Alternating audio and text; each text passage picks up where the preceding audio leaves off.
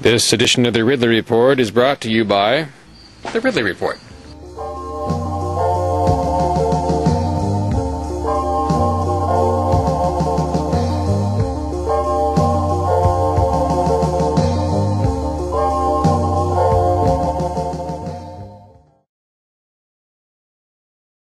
Last week, the governor of Texas ignited a media firestorm for his remarks involving the idea of secession.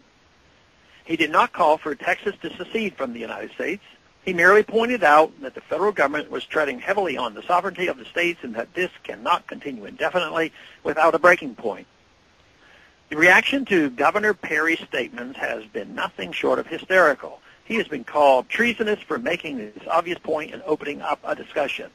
I am not calling for secession either. However, there is nothing wrong with a healthy and open discussion of this issue. America was born from an act of secession. When King George's rule trampled on the rights of the colonies, we successfully seceded from England. It took a war, but we were well within our rights. We applauded when former Soviet states seceded from the USSR and declared their sovereignty. And hopefully, the United States will eventually secede from the United Nations.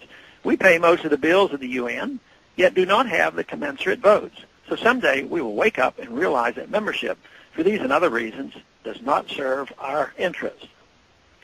On a personal level, contracts you enter into can be terminated if one side unilaterally changes the terms.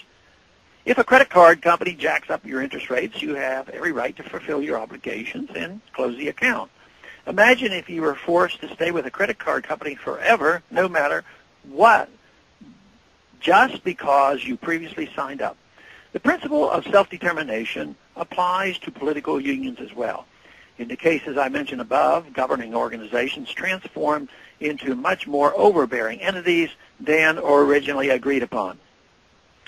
Several states' constitutions originally had clauses explicitly allowing them to opt out of the union down the road if they so choose. I doubt our country would have come together if this were not the case. Just because the North successfully kept the Union together by force with the Civil War does not mean that enslaving the states is a legitimate alternative. And you know what?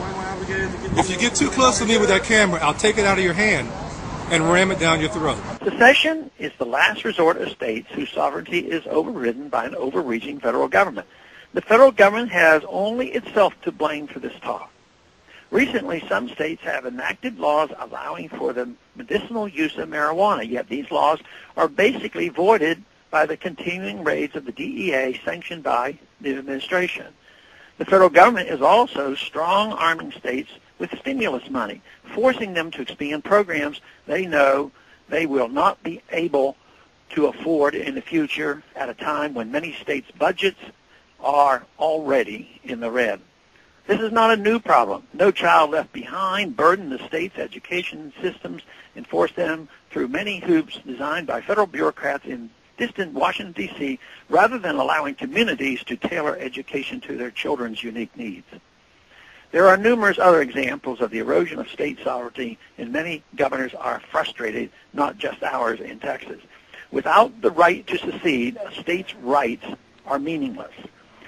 A Republican form of government should also be as close to the people as possible, which means the decisions of local governing bodies must be respected. Where the decisions of local governments are disregarded, the voice of the people is also disregarded.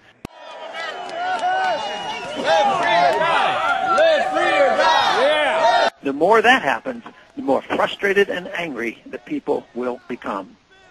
Thanks for calling this update. A new update is placed on this number, 888-322-1414.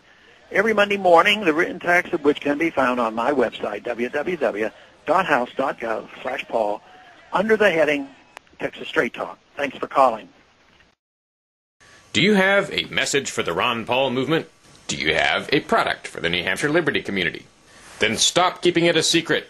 Head, head on over to RidleyReport.com. Email Ridley and purchase an ad. There is no humiliation nor privation Ridley will not endure to ensure your message gets out. RidleyReport.com.